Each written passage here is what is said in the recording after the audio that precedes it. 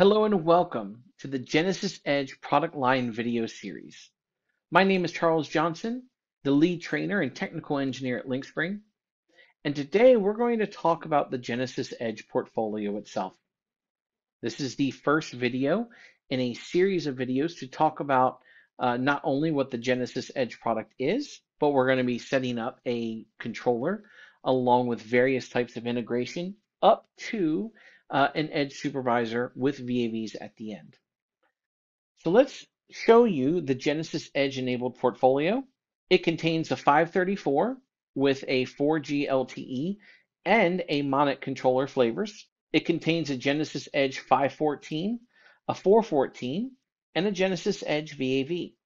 It also has the XM34IO modules, which come in the straight Onyxx network or BACnet flavors. Now, let's talk about what the JENEsys Edge product line is. Well, it is an end-to-end Niagara product line that features a fully programmable Niagara controller. The commissioning process is the exact same way as a Jenny or a PC8000, so there's no need to do any additional steps. It also accepts Modbus, BACnet, Fox protocols, Web, and OBIX. It also runs on Linux and it's not QNX based. Now let's talk about what it isn't. And what it isn't is that it isn't a Jenny or a PC8000. Because this is a Niagara controller, it doesn't have uh, the capacity like it would be a JACE. So therefore that when you engineer these, please make sure that you take that into consideration or else that you could do more harm than good. The JENEsys Edge product line is a great uh, to me is a great product for uh, mid-sized facilities. Uh, it can handle medium to large air handlers, chill water plants, hot water plants, etc., and even VAVs. So we can even go to even the terminal unit uh, level as well. Now let's talk about the JENEsys Edge 534.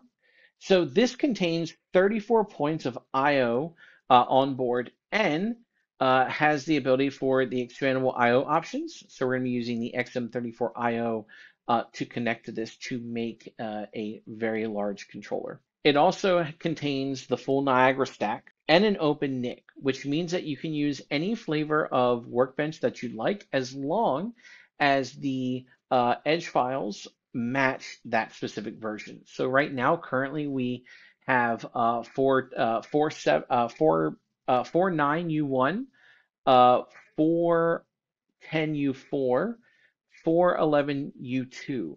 Uh, if you use anything like 412, uh, that's not really compatible with that. So please make sure that you have the correct workbench installed. And you can find all that information available uh, on our resource website at resources.lynxspring.com. Now, as I said, we have the 534 with Monnit, and this is actually the wireless IP controller. So Monnit actually has a bunch of wireless sensors, uh, and you can see here at the bottom what sensors we currently support. Uh, the Monnit sensors are easy to set up, and they're low cost, low power, and they also accept uh, global RF uh, frequencies such as 900, 868, and 433. Should you want a 534 with a uh, with a, uh, a modem on there, we have the JENEsys Edge 534 4G LTE. So this is packaged with a uh, built-in Verizon uh, cellular modem, uh, which allows uh, remote uh, access when there isn't one available. It still contains the same 34 I/O and it's expandable through the extender modules. It also contains the full Niagara stack uh, and it's a fully programmable Niagara controller. And it uses a secured VPN connection. So therefore you don't have to worry about anyone accessing it without the proper VPN information. Next, you have the JENEsys Edge 514 IP controller, which contains 14 points of I.O. on board. Uh, and it can be uh, expanded uh, using the XM.IO, which uh, resides on the Onyxx network. With this, uh, even though the 414, which I'll be showing in a moment, uh, has the same uh, point count, uh, it actually uh, this actually has um, uh, this actually can be licensed for an additional eight extender modules at 34 points IO each. Now we have the JENEsys Edge 414, which contains 14 points of IO on board. and it's ideal for terminal uh, equipment control that requires minimal integration. So because this has a fixed license of 50 points and three devices, the 414 has a lifetime SMA included with the license, which means that for as long as you have the controller, we can continue to upgrade this controller to the latest version of Niagara without any additional cost. Now let's talk about the JENEsys Edge VAV IP controller. So this is a fully programmable VAV controller with 14 I.O. points and with an additional input point of a pressure transducer that's built in. It still uses the FOX protocol and works the same way uh, as a Niagara controller would. Uh, it contains six UIs, four DOs, and four AOs.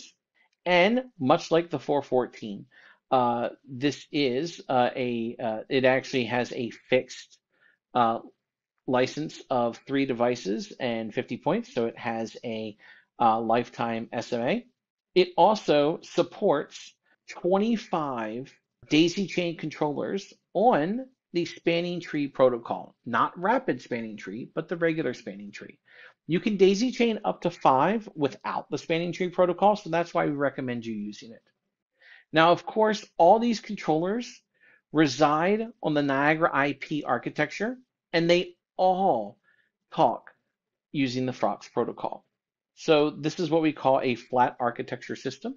So you can see that we have a supervisor, uh, lighting controls, uh, primary equipment, uh, any kind of plant control. We have some wireless devices. All these can talk on the same FOX network. Now let's talk about Onyxx for a moment.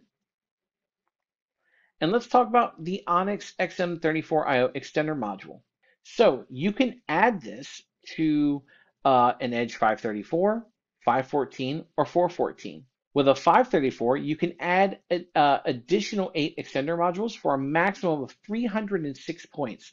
That's fairly massive.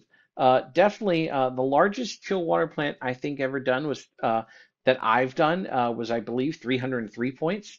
So uh, this actually can reach the maximum. This contains 10 digital outputs, which are relay outputs, eight analog outputs, and 16 universal inputs. You can also wire it via 24 uh, VAC or DC. Now, uh, and it also resides on the Onyxx network. So if we look at the XM modules as a whole, with the 514, you can do 306 points.